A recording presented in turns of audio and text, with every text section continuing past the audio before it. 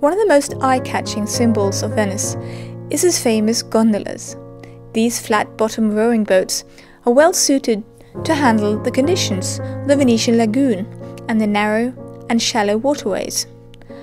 The canals in Venice are all about 2 meters deep, except the larger ones, like the Grand Canal, which is 6 meters deep. The gondolas is like an asymmetric, narrow canoe, heavier to the right, since the gondolier stands to the left on the boat. In early centuries, there were more than 10,000 gondolas in Venice. Now, there are just over 400 in active service, almost all of them in use for tourist purposes. The gigantic Venetian Hotel in Macau bought a few years ago more than 50 authentic gondolas to use in their indoor shopping mall copy of Venice. If these had been in use in Venice earlier, or just new ones, is uncertain. A new gondola today costs more than 40,000 euro and is built up by 280 handmade parts. You can embark on a gondola tour from several different places in Venice.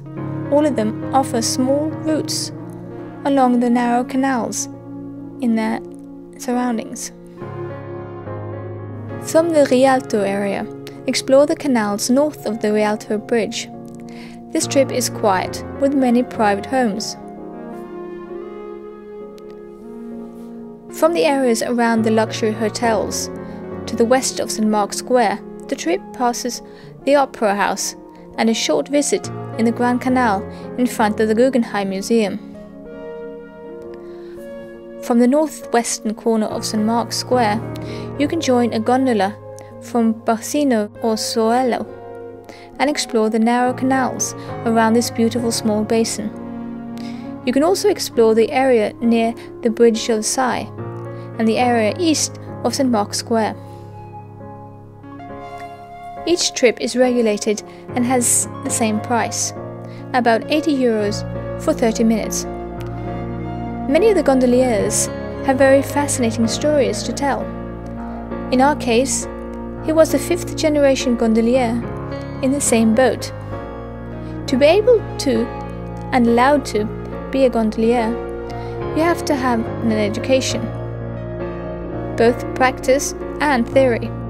In addition to knowledge regarding the gondoliers itself, you know much of the canals and the buildings and the history of Venice. And they are fluent in English. We said he about the gondolier earlier. That's because most likely the gondolier is a male person. But if you're lucky, you can get the only female gondolier available in Venice. Her name is Miss Boscolo. In 2010, she broke with the 900 year tradition and became Venice's first female gondolier, following in the footsteps of her father, who had been a gondolier for 40 years. Jumping on a gondola tour in Venice is perhaps one of the most touristy things to do here, but it's a great experience. You can't really visit Venice without having tried one. For more videos from Venice and the rest of the world, visit allthegoodies.com. Please subscribe to All the Goodies by pressing our logo.